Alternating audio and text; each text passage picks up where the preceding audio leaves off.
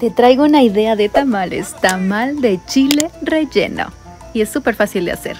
Vamos a necesitar un kilo de masa de maíz y 250 gramos de manteca de cerdo. Procura que esté a temperatura ambiente. Lo integramos y también una cucharadita de sal. Esto para que le dé el sazoncito es una cucharada de consomé de pollo en polvo. Si no lo utilizas, agrega más sal. También caldo de pollo, el suficiente, pueden ser 3 cucharones o 4 y si no quieres desgastarte mezclando con las manos, entonces utiliza una batidora porque la verdad es que te facilita la vida. Agrega una cucharada de polvo de hornear para que tus tamales estén esponjositos. Y lo mezclamos hasta que tenga una consistencia como de puré. Ahora sí van los chiles, vamos a tatemarlos ya sea en la estufa o con la freidora de aire.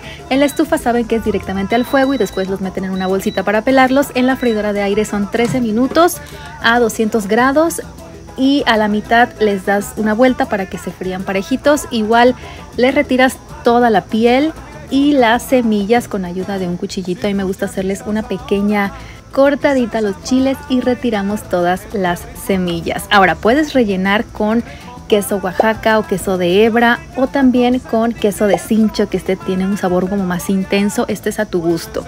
Así los rellenamos, vamos a hacer lo mismo con todos los chiles, es un proceso pues fácil pero un poquito tardado, ¿no? A mí me gusta mucho el queso Oaxaca, por eso lo estoy utilizando para rellenar los chiles. Ahora, para las hojas, son hojas de maíz que están secas y debemos de ponerlas a remojar de media hora a una hora. Una vez listas, vamos a rellenar nuestros tamales con la masa de maíz preparada y ahora sí ponemos nuestro chile. Enrollamos de esta forma y lo acomodamos así paradito.